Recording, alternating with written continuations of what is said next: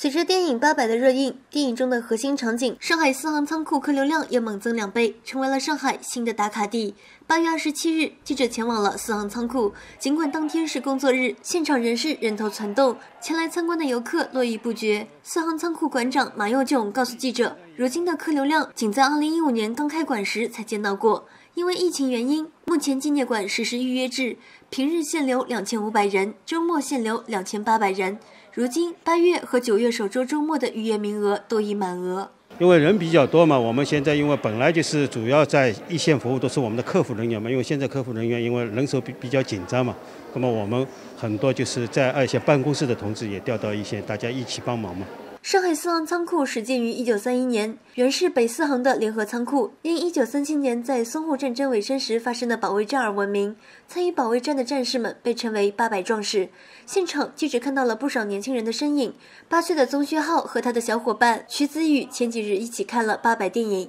很感动，便想来实地看看。因为我们长大都想成为军人，拿着枪。位于晋源纪念广场的西墙是四行仓库建筑外部人气最高的打卡地。在西墙下，不少前来参观的游客们自发用花束、水果、饮料来祭奠战士的英勇。当日，上海市民王哲也与儿子带着一束鲜花前来参观并祭奠。他表示，有必要带着孩子一起来体会当时前辈们的保家卫国的精神，让他学会感恩，知道当今生活的来之不易。呃，作为上海人嘛，对四行。四行仓库和那个沪中抗战，我们从小的学校的教育里面就有，题材里面也有，所以正好借着这个电影《八佰》的机会，就过来过来看一下，体验一下。十岁的陈彦诺在看了电影《八佰》后，主动要求他母亲带着他来看展，了解战士们更多的故事。看这个电影以后，我觉得这些人都很勇敢，我想了解一下更多的资料，所以就是